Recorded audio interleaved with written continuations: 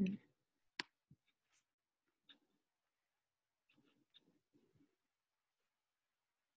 All right. Hello, everyone, and welcome. Thank you so much for joining us this morning. My name is Emily, and I'm the Marketing Director for Clinkscales Elder Law Practice. We are a firm with main offices in Hays and Wichita, serving clients everywhere in between, that really focuses on helping clients answer questions and issues regarding aging, chronic illness, long term disabilities, and more. We are very excited to bring you this webinar today entitled Eight Things You Need to Know for the Second Half of Life. Please feel free to send any questions you may have to me in the chat box that's located at the bottom of your screen. At the very end of this presentation, we will address any of those questions that you may have.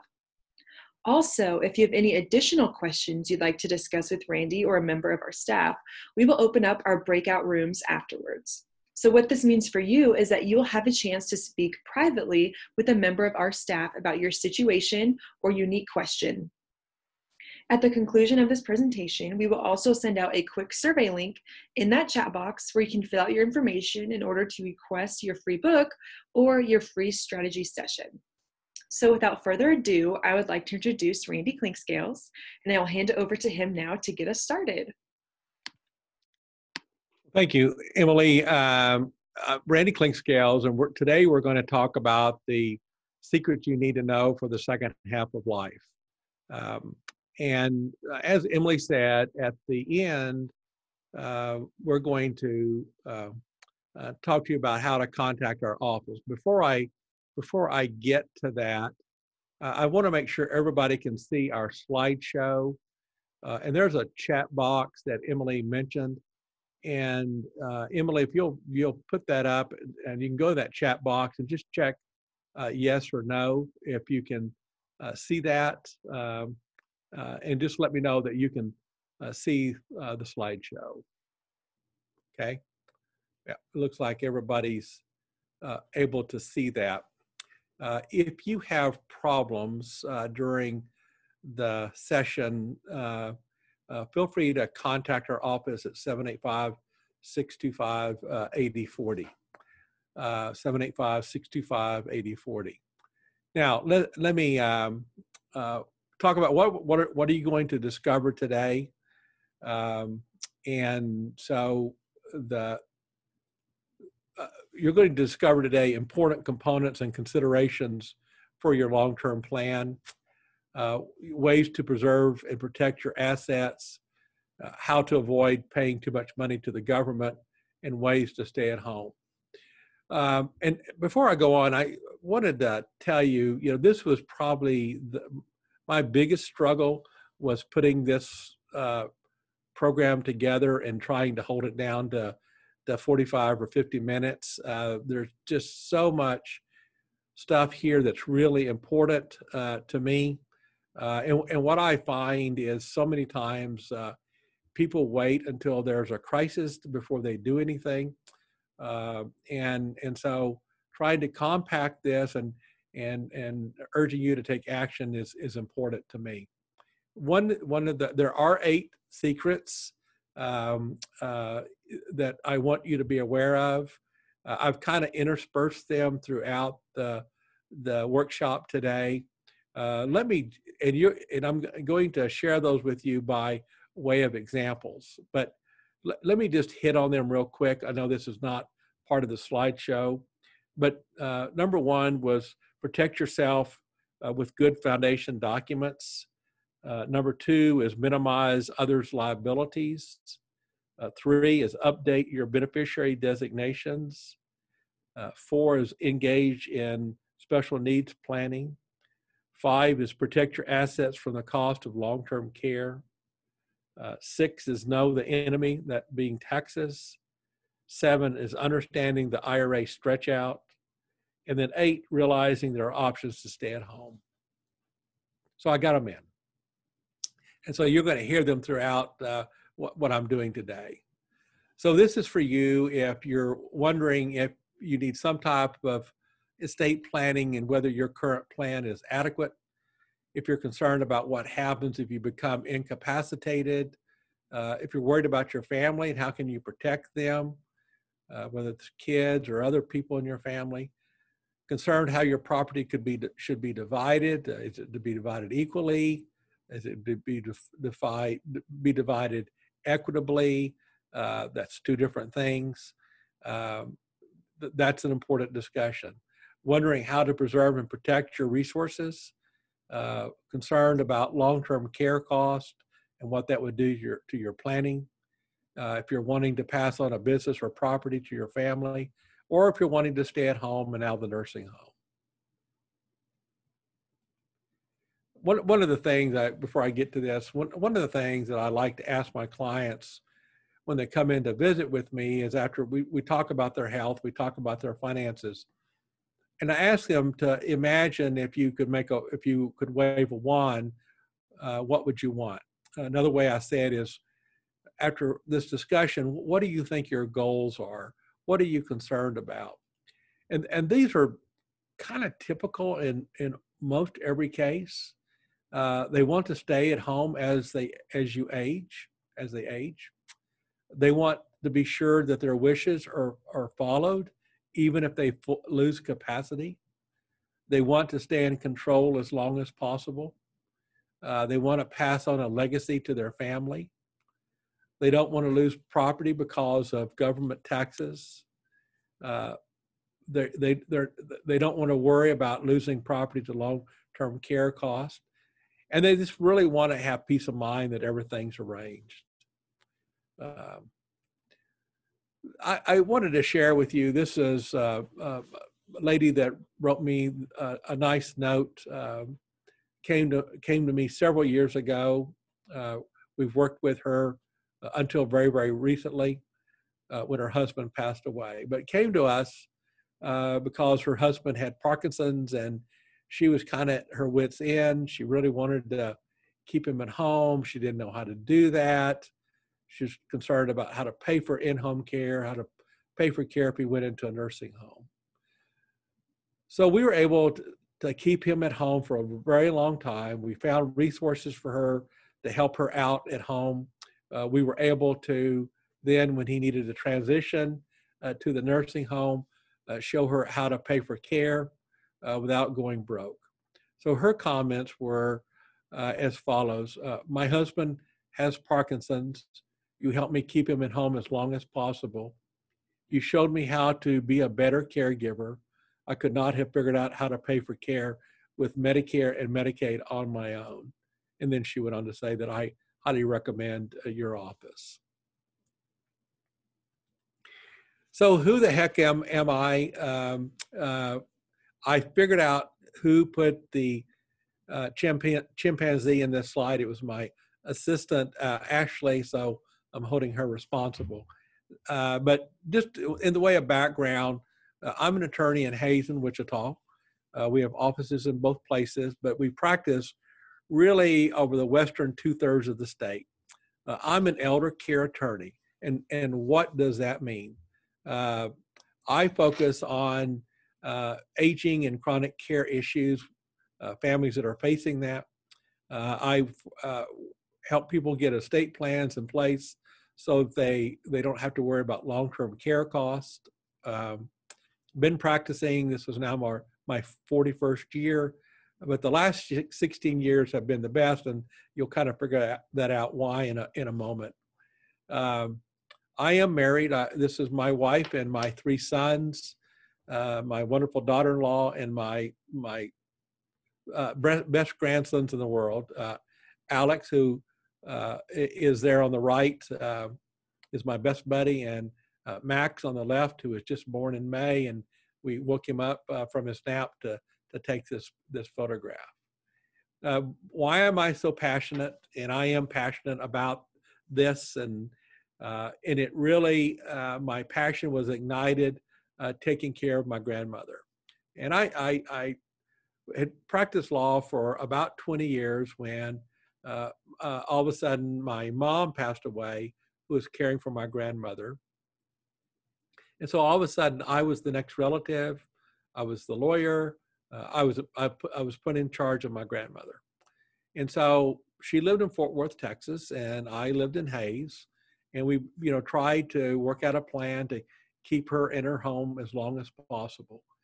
and some of the lessons that I learned along the way, uh, and those lessons actually completely changed our office. Uh, and I and I truly mean that. We actually have a picture of my grandmother in my office, and everybody in my office knows the story of my grandmother. But she wanted to be independent. Uh, she wanted to stay out of the nursing home.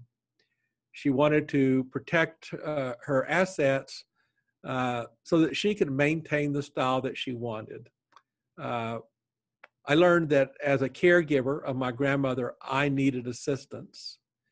I also learned that uh, the form documents that my grandmother had uh, that were prepared by Texas attorney were not adequate.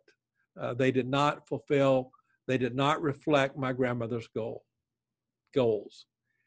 It's important that I, lear- I learned from my grandmother, it's important to have a plan, but that that plan is going to be different as you grow older. So the plan that I would have had for my grandmother if I was her attorney when she was 30 would be a lot different than I had for her when she was 60 or 70 or 80 or 90. Uh, also understand that the journey is ever changing uh, and the laws are ever changing and it can be complicated and it needs sometimes it needs to be tweaked or even completely redone uh, the plan does but the journey can be wonderful uh, and, and, in my grandmother's case it, it really was very rewarding. So I want to share an, another story with you. This is uh, Mr. Woods. That he came in to see me. Uh, this is years ago. Uh, worked again. Worked with the family for many years. Um, still work with the family. Um, uh, his wife had gotten sick.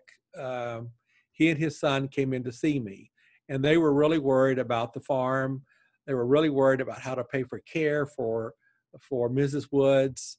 Uh, and so we were able to show them how they could uh, keep the farm, uh, pay for care, and, and pass the farm on to the family. So Mr. Woods wrote me a nice note. It said, When my wife got sick and needed the nursing home, I was told I would have to sell my home and my farm. I thought I would go broke. Randy saved my farm for me and my children. A, a comprehensive long-term plan is essential uh, for our second half of life to establish, preserve, and protect our wishes. And so, what do I mean by that a little bit? You know, I think the first half of life is, for me, was uh, raising my children, uh, getting them through high school, um, and and um, getting them off to college. Uh, but after that point, I, I really considered that I was in the second half of life. And, and so the goals become a little bit different in the sense that when my children were, were under 18, my goals were really to be sure that if something happened to me, that my wife would be able to support herself and raise our children financially. Uh, but th- things change as we grow older. So what are we going to discover today? It's more about than a, it's more about uh, form in cookie cutter estate planning documents. If you're really going to plan for the second half of life, your goals need to be reflected in your plan. Uh, again, as in my grandmother's case, in Mr. Wood's case, the, the plan needs to reflect what the goals are at that stage of life you can decide what needs to be protected, if anything. Uh, you can protect your family members. Uh, and we'll talk about different concerns that you may have. Uh, you don't have to go broke if you need long term care. Uh, with careful planning, you can avoid unnecessary taxes. And just to let you know, there's been a lot of changes this year in tax laws. Um, and we're gonna we're gonna touch on those briefly uh, it's really important to express your desires and and ways to stay at home. Uh, it's one thing to say I want to stay at home. It's another another way another thing to actually implement tools that allow you uh, to stay at home. And we'll, we'll talk about that. So there are important components to your estate plan, and and there are that they need to be included in your estate plan. There are fundamental documents that need to express your wishes. It's, it's important to make correct beneficiary designations, like on your IRAs, on your accounts, and the like, to be sure they fit with your plan and go where you want it to go. I had a case one time where we had a family where mom uh, left certain accounts uh, to the three daughters.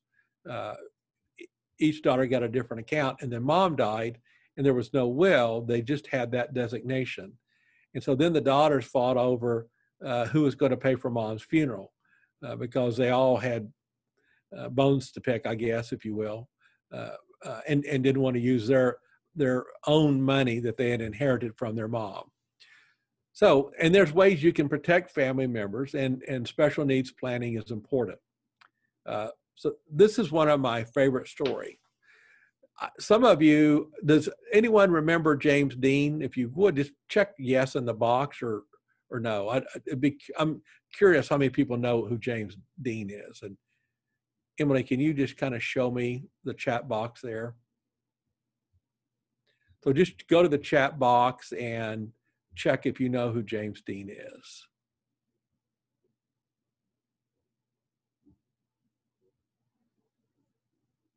Okay. Well, let me let me just give a, a brief uh, brief review. Uh, we have we have quite a few yeses and thumbs ups. Okay, great. Okay, so James Dean, as you know, was a, a famous actor, very short lived. Um, uh, died in 1955. He had not married, he had no children. Uh, his mother had predeceased him. He had no will or trust. Uh, he was estranged from his father. He and his father just did not get along, had not spoken in uh, several years. Uh, he did not have a will when he died. And under something called intestate law, his father was his only heir.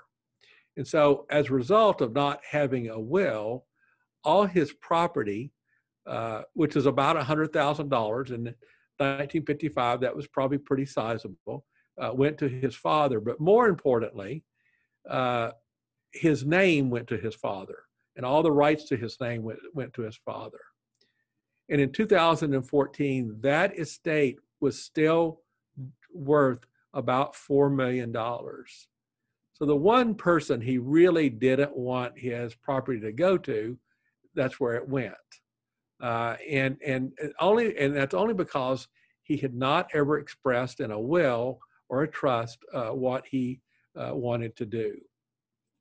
So I want to tell you a story about a client that came in uh, uh, just a while back. Uh, Mr. and Mrs. Jackson came in, and he's 66 and she's 69. Um, he's still working. Uh, Mrs. Jackson is retired. They own a home and have a, a family business. They had investments in a retirement fund of about $400,000. That retirement fund and investments were set up to pay on death to each other than it said to our four children. Uh, they're relatively healthy. They have no estate plan. Uh, they have four children had four children. Son Bud is married with two children, uh, and he works in their business that they own, uh, and he hopes to take it over, and they hope for him to take it over. Son Mark is deceased and has a special needs child. Uh, daughter Debbie is going through a divorce and has one child. And daughter Barbara has been in and out of drug rehab program is divorced with two children who live with their father. So when they came in to see me, uh, I mean, their goals were they want the business to stay in the family, they want to be fair to all the children, and they really want to avoid litigation. They want something to go to their grandchildren. And so when I sat down with them, the comment that they made was, We don't know where to start. So I pointed out to them that with no power of attorney, uh, if something happens to one of them capacity wise, no one has any power to act. And, and why that's important is there's a misconception out there that if I'm married that if something happens to me capacity wise, my wife can take action for me. And that's simply not true. There's a perception out there that if something happens to my 32 year old son, I have the right to make decisions for him if he doesn't, if he's not married. And that's just not correct. Unfortunately, Kansas is a, is a state that unless you have a power of attorney for someone, you have no power to act on their behalf, the exception being a minor child. But anyone that's an adult needs a power of attorney. Uh, I also pointed out to them that, and that and that's that's for healthcare decisions, that's for financial decisions. I also pointed out to them that they would have to go through probate, and generally probate is going to cost a percentage of their estate. That's generally how most probate attorneys charge.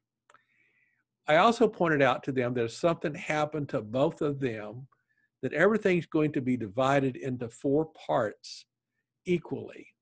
And as a result of that, they could end up losing the business. Because, as an example, Debbie is going through the divorce, and that her share of the business could be lost to the divorce. Uh, Barb has drug issues, uh, and uh, uh you know her access to cash is, is or business is going to be devastating. They have a disabled uh, child from the deceased son, and if if that disabled child inherits money from them, that child will be disqualified from benefits. And the investments go to the children, including the deceased child, and so that needs to be fixed. So, as a solution, what we did is we set up powers of attorneys uh, uh, with really good agents, and and and that was you know be kids or or or well first it was their spouse, but the kid that they thought was most responsible, and we added 14 additional powers so that that agent could carry out their wishes. We put in their power of attorneys what their health desires are so, what kind of services do they want? What kind of services do they not want? What if they develop dementia? What if they, you know, what whatever? We addressed a lot, a lot of those in their powers of attorneys. We also set up a revocable trust to manage their property if they lose capacity, and it avoids probate and it reduces the chance of litigation. We said in there, in that, we said in the trust that Bud gets the business and everything else is divided between the other family members. But we expressed in there why he is getting that business so as to avoid probate. We actually protected Debbie's inheritance from divorce by holding it into in a special subtrust. We set up a special needs trust for Mark's child, thus protecting uh, the child from getting kick off, kicked off of benefits. And we protected Barbara's inheritance from her drug problems. Uh, and we fixed the beneficiary designations so it went to where they really intended it to go. Uh, so at the end, I, I, thought it was interesting. They said, Thanks so much for your help. We really didn't know uh, what we didn't know. Uh, and uh, those are always kind of interesting folks to work with uh, and it's nice to know that that that uh, they really are unaware of, of what issues are out there. And so by a long visitation with them we can figure out what all the issues are and then design a, a solution. So what do you need to do is to meet with our office regarding a strategy session and together we'll work to determine your goals and concerns. Then we want to explore what options might be available to you some people have different options available based on their health, based on their resources, based on their family situation. It's absolutely essential that we get strong documents in place uh, right away. So if something happens, that we can continue the planning process. And we want to start the, the strategy right away to avoid roadblocks or changes in circumstances. So as an example, a change in your health could mandate uh, a change in our plan, but it could also close the door on some options that might otherwise be available to us. So let's talk about uh, ways to preserve and protect your assets from long-term care costs. And why are we talking about this? You know, today, um, you know, we, uh, one of my care coordinators, Kayla, and I were visiting with somebody yesterday, and he thought long-term care costs were between three and five thousand dollars, when in fact, uh, they're they're between six and eight or nine thousand dollars, and sometimes they're higher. And so, in the course of a year, it's very conceivable that you could go through a hundred thousand uh, dollars or, thereabouts uh, in in long-term care costs. So, with planning, you can protect what's important to you. Uh, you can make a decision on how you want to pay for care. Sometimes, you know, with some of my clients, is just saying, you know, we're going to set aside a, a pool of money, uh, and, and that's how we're going to pay for long-term care. But the thing about it is, you need to understand you don't have to go broke uh, just because you need long term care. And we're going to talk about today one particular case where uh, we, we show the family how to use government benefits to pay for care, such as Medicare, uh, VA pension, and Medicaid. So let's talk about a situation where we're using planned resources to pay for care. So Mr. and Mrs. Johnson came in, and Mr. Johnson's had a stroke. And by the way, he had a little bit dementia, a little bit of dementia before the stroke, and pretty significant after the stroke. Uh, but he's still in the hospital. The hospital's wanting to discharge him. Uh, the, the, Johnsons have a home uh, in, investment in a business worth about $500,000. They have long-term care insurance of $200 a day uh, for three years. Uh, they were concerned about how to pay for care, what would happen when the long-term care policy was used up, and they wanted to preserve something for their for uh, the, each other and and their children. So again, uh, you know, Mrs. Johnson's a little bit worried about more than a little bit worried about running out of money. And she was really more focused on that worry. But what we showed her was that if we could discharge Mr. Johnson to a skilled facility, Medicare would pay for that for a period of time. More importantly, by trans- transitioning him to a skilled facility, he would get the necessary health services which would allow him to get better. And then we could actually transition him to home, continue with some home care, but we could get the long term care policy to pay for some outside assistance for the home care and the home improvements so that Mr. Johnson would be safe. And we would be able to stretch out the long term care policy because we wouldn't necessarily be using $200 a day for at home care. So the early involvement with Mrs. Johnson and Mr. Johnson really accomplished four things. We got Medicare uh, benefits extended. Uh, we got uh, health improvements for Mr. Johnson that he really needed. Uh, Mr. Johnson was able to return home, and the long term care policy was extended, uh, thereby uh, pr- protecting assets. So let's talk about another example. And this is a little bit more of a proactive approach. Mr. and Mrs. Schmidt were 72 and 70. Uh, so this case actually came up about four years ago. Uh, they were recently retired. Mr. Schmidt had a $350,000 in an IRA. Mrs. Schmidt had about 200,000 in her IRA. They had investments of $300,000, a home, three children, and, and five grandchildren. And so their thought to me, their what they expressed to me is we want to protect each other. They're concerned that if one gets sick, assets are going to be depleted and their spouse will be impoverished, and they want to leave some money to their children. Let me add one more fact. uh, about a year before they came in to see me, they had purchased some traditional long-term care insurance, and that was costing them about seven thousand dollars a year, and it provided about thirty-five hundred dollars of of um, coverage uh, for I think three years. So they were upset that they were paying so much in premiums. They didn't like the idea of having to pay premiums the rest of their lives. Um, and it was a, they knew they didn't have adequate coverage. And they knew that if they never used the policy, then they, they lost all the money.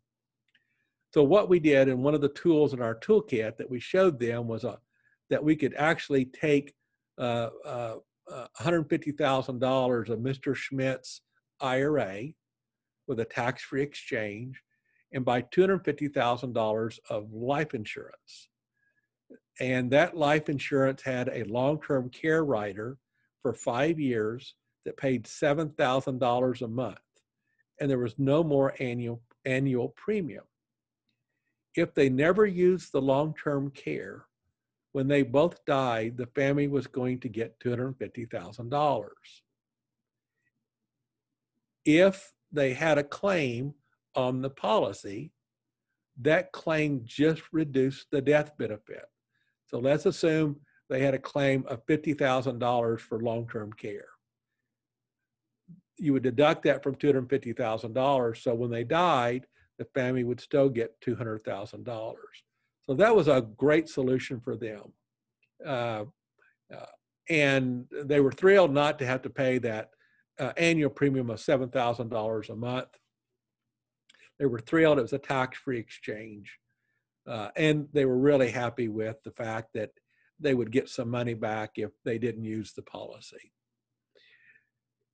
Interesting, and this is not unusual, it was actually their children that brought them in to see us because they knew their parents really need planning.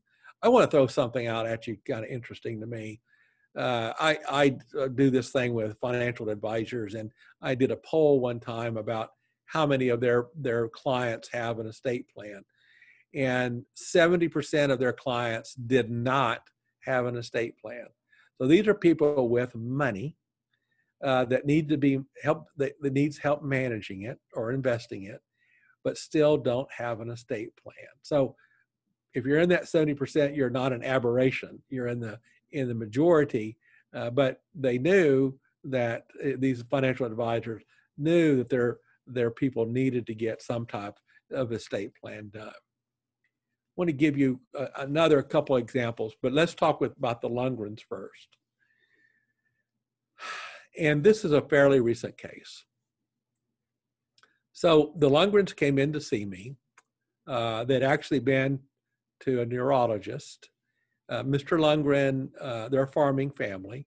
He's been diagnosed with early signs of dementia, uh, uh, with signs of dementia, early cognitive decline. But he's still very active. He's a still a very active farmer. He still has capacity. Um, uh, he's he's concerned about what happens if years from now he needs care. He is concerned for his uh, wife and his children. But I think the overall desire of Mr. Lundgren and Mrs. Lundgren is that Mr. Lundgren wants to stay in control, but I but he wants but he said I want to stay in control, but I want to be sure my wife and my land are protected. But Mr. Lundgren wanted to continue to farm. He wanted to carry on as long as he could.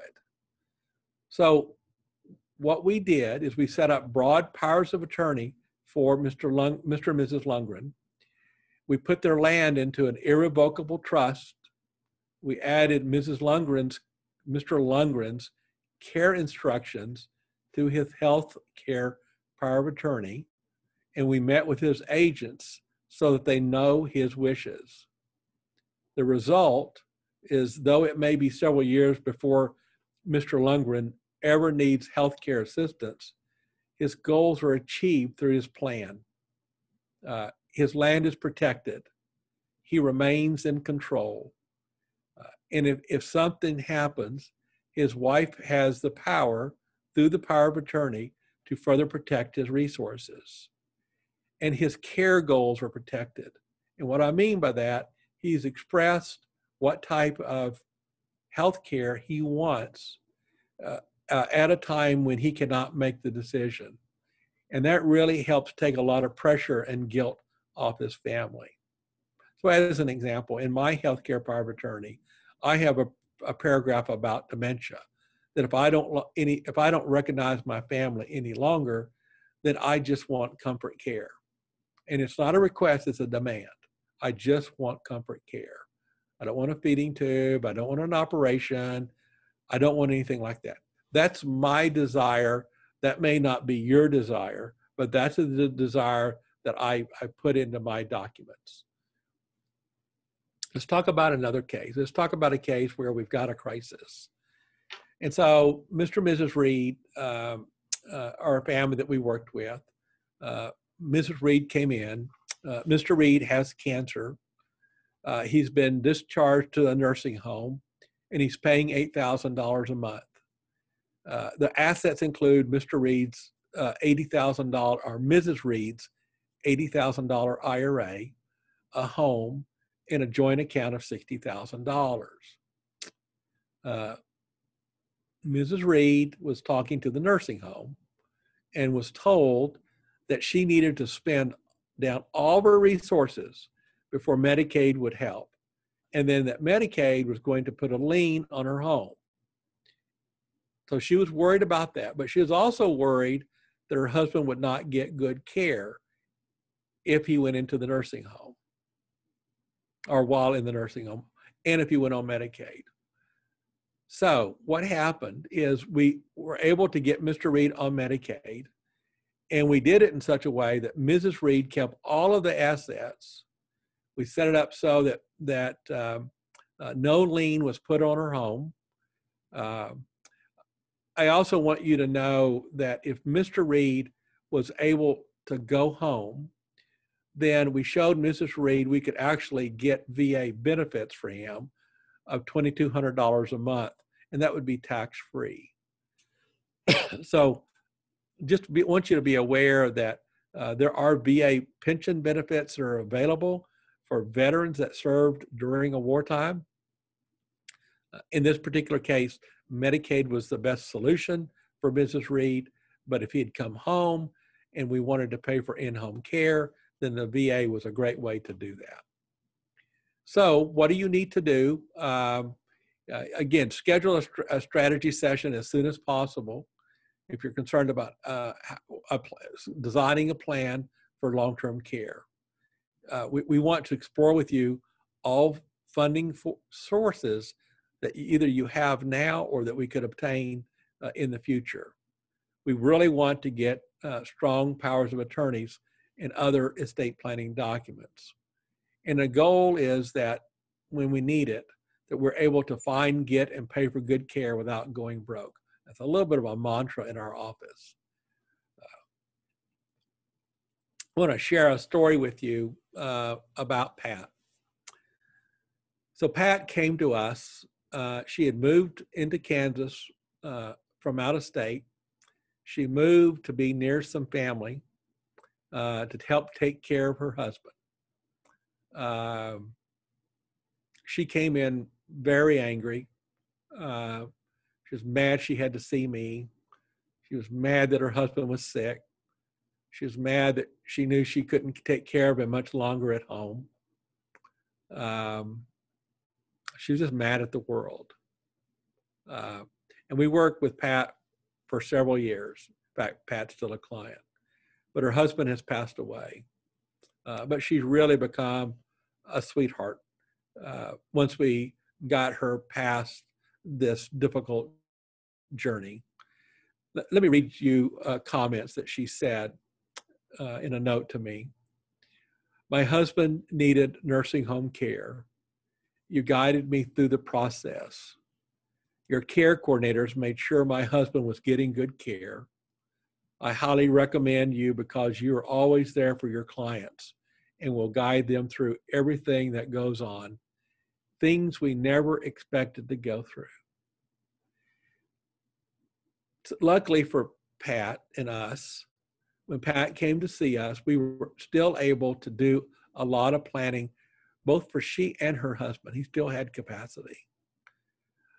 We were able to work, have our care coordinators. And a care coordinator is a person in our office that works with our families that are dealing with a chronic illness or um, aging issues. Um, a couple of them are are social workers and one's an RN. But I think sometimes there's a rumor, a coffee shop rumor, that if you go on Medicaid, you're not going to get good care, and that's simply not true. Uh, but anyway, we needed to give Pat peace of mind. We needed to, to take the pressure off of her as a caregiver and let her go back to, to being a, a wife and, and to let her know she wasn't going to lose everything. So let, let me, uh, anyway, Pat's great. I think she's actually done a, a video on our, our website. Let me talk a little bit about uh, uh, don't pay unnecessary taxes. And so I really don't have a lot. I could really talk about this all day. Just, I want to make you aware of some stuff. Uh, the Secure Act was passed uh, right at the beginning of the year of 2020. Uh, it had a profound effect on IRAs. Um, it used to be that if I left my IRA to my kids, they could take out that money over the remainder of their lifetime. That's no longer true. Now they have to take it out in 10 years. And so that has a uh, an effect of making them pay more taxes quicker than uh, what they used to do. Uh, you can still leave it to your wife, uh, uh, and she can stretch it out over her lifetime, but your kids have a 10 year stretch.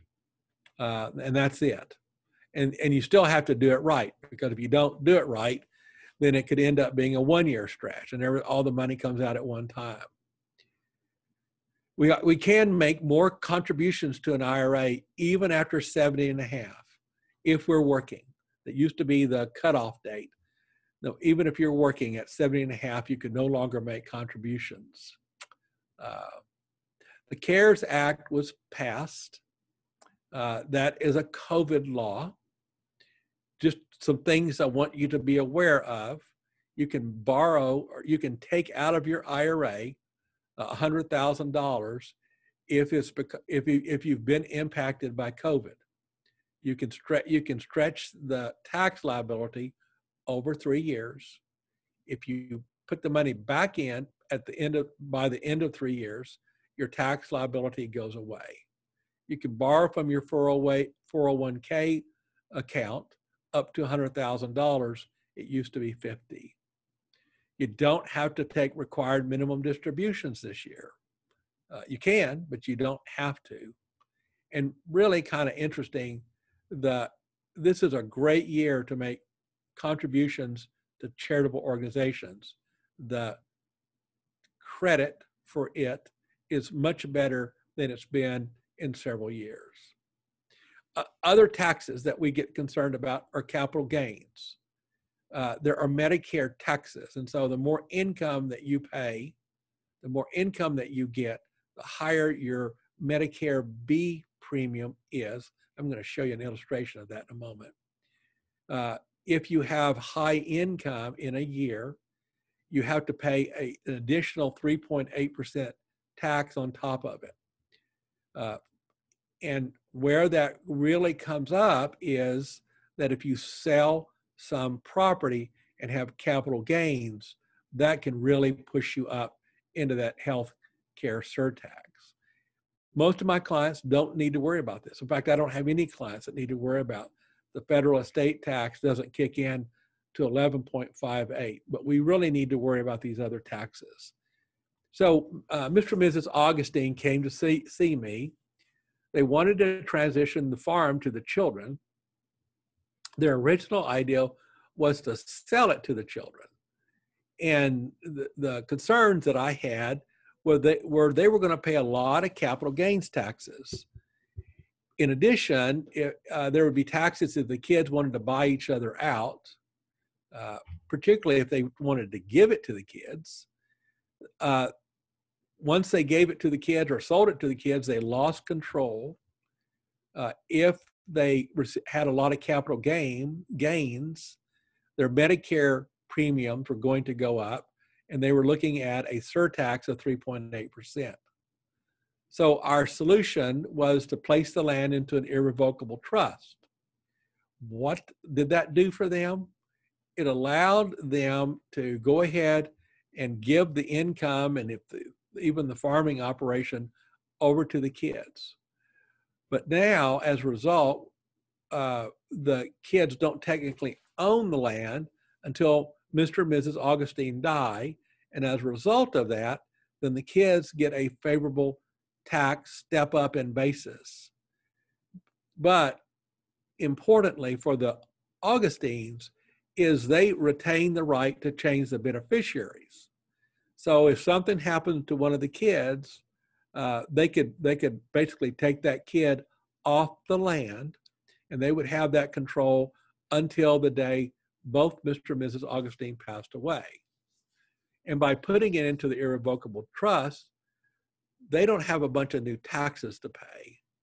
Uh, and again, the, you know, if they if they had not done this, as an example, their Medicare premiums would have jumped from $148 to $504 a month. And so just that, I know maybe that's not a big thing for a lot of people, but people really don't like to pay that additional Medicare. So finally, I want to talk to you about staying at home.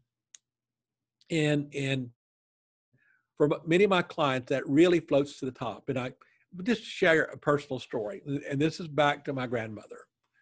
Uh, remember, I took care of her.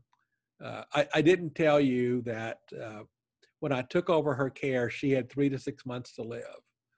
Um, uh, and actually, she went on hospice twice. Well, that, that three to six months uh, turned out to be 10 years. Uh, she had a lot of, lot of issues going on. Uh, but on my journey with her, originally we were able to arrange for some resources in the community in Fort Worth. Uh, that kind of worked out. Uh, we moved her to uh, uh then from Texas uh, to, to Kansas. only one assisted living facility would take her all the other ones, she was on hospice.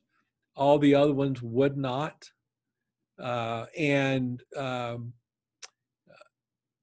she went into the assisted living facility, and guess what happened? She got better. We reduced her medications from 14 to 4. She stayed in that assisted living for four years. Uh, at the very end of her life, uh, she spent 50 days in a nursing home and she died at the age of 96. So, what were the lessons for me?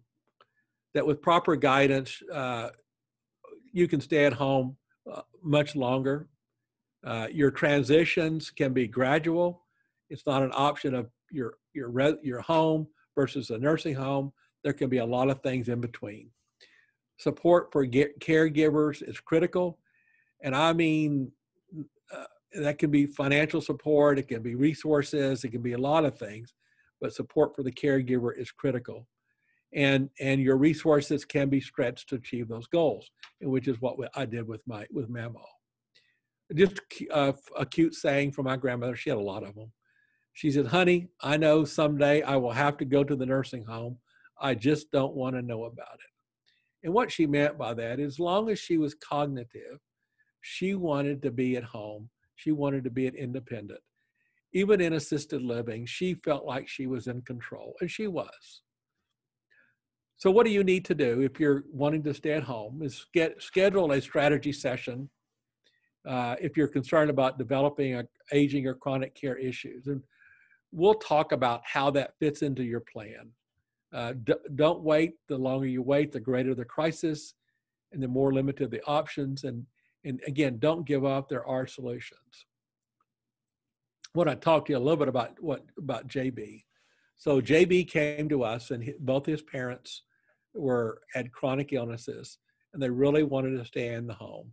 And JB was at his wits' end. But we were able to keep uh, his parents in the home for many years. Eventually, I think it was his mother died first, and uh, his father was not able to stay at home uh, after that, and we transitioned him to the nursing home. But we continued to monitor his care. Uh, JB, even though he had siblings, carried the water the whole way on this thing. And so I, I it, it was very stoic guy. So I, this is this is heartfelt uh, from him. Uh, when he said, "I felt very comfortable with everyone I worked with.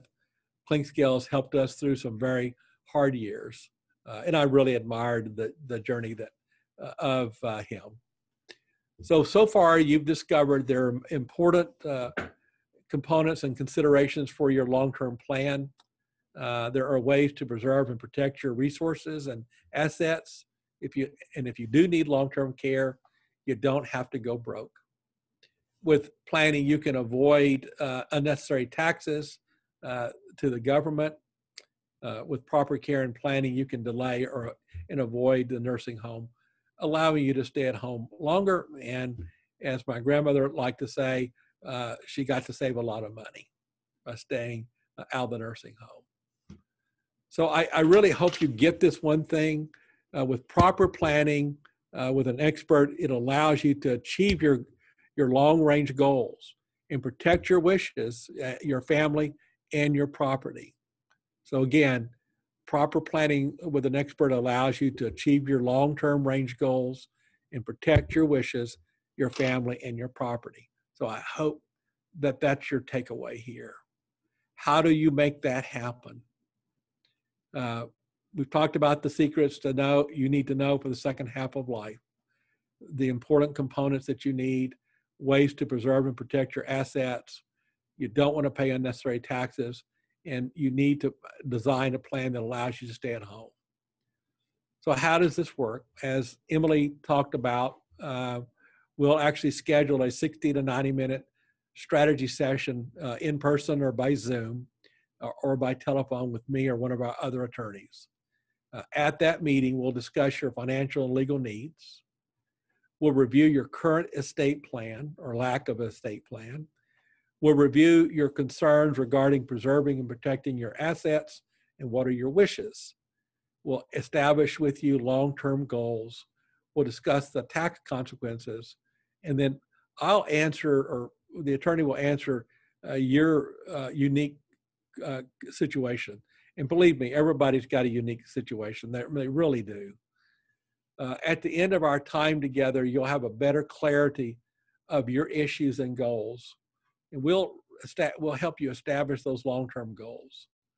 We'll develop a plan for your second half of life, and you'll know what documents and other tools that we need to get in place. And we'll show you a blueprint on how to achieve uh, those goals and you'll know the exact investment to achieve the goals. After our meetings, uh, what will happen is you'll decide to get started. We'll develop a written plan uh, based on what we talked about. We'll work with you to implement that plan, uh, and we'll prepare all the legal documents to reflect your goals and objectives. Uh, then we want to schedule another meeting to review, sign, and implement uh, the documents and the tools after that, then we'll continue to work with you on other tools and other steps, such as how property is to be titled and the like, in order to keep keep make the plan work. And, and most importantly, we're going to walk you through the process from start to finish. So the consultation typically is $450. It's going to be free because you attended today. Uh, again, I don't know where Ashley comes up with these slides, but she did. Um, we're, we're, we've got eight spots we've set aside during the next four weeks. Uh, to, to schedule a time, call our office at 877-325-8040, or we're going to send you an, an email with a SurveyMonkey link that you can check on. And just to let you know, when you call that, actually, we're going to interview you uh, uh, Tracy will interview short, you shortly uh, with a short interview, uh, make sure it's something we can help you with, and then she'll schedule an appointment and let you know what all you need to bring uh, for that or have or make available uh, to us for that appointment. So my guarantee to you is after we get done is you're going to more, know more than you did today. You're going to have an analysis of what happens if you do nothing, and your time's not going to be wasted.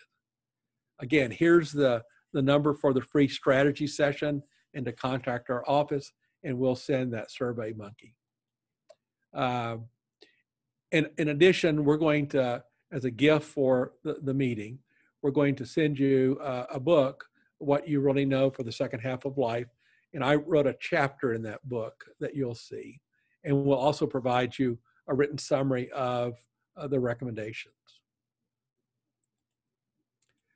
So remember a free strategy session an analysis of your current plan, uh, a, a, written report to achieve your goals and the, and the book. And again, call the number or get the survey uh, through the monkey link. Uh, so I'm going to now turn it over to uh, Emily. And Emily, anything you need to add? Well, it doesn't look like we have any questions right now at the moment. Um, but if you have any last minute questions, or if, as I mentioned before, if you have a private question about your unique situation, um, please message me now in the chat box and let me know. That way I can put you in a private room with Randy and one of our staff members, Tracy. Um, as Randy mentioned, that survey link, I put it in the chat box, so you should see that shown up now. Um, and that is to redeem your free strategy session and that free book. Um, the follow-up email from us here at Clinkscales will include that link, um, so please be sure to take advantage of that. The email will also include the recorded video of this presentation um, for you to refer back to or share with others. So that is in the chat box, as I mentioned. So please be, be um, get a hold of us really quickly.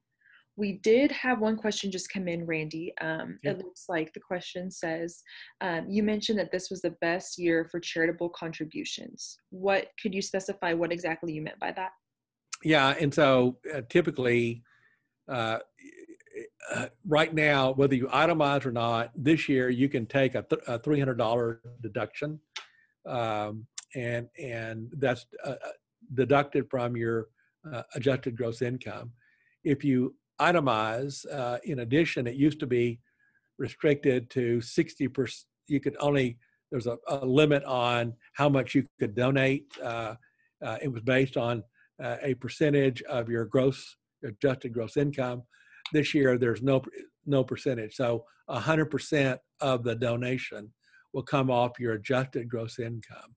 So it really does, uh, it really is a, a good year to uh, even make your donations not only for this year but even for next year because uh, I don't think that'll be available next year. It could be, but but you know we've not had this in a while, so it really is a a good time to uh, to make that donation.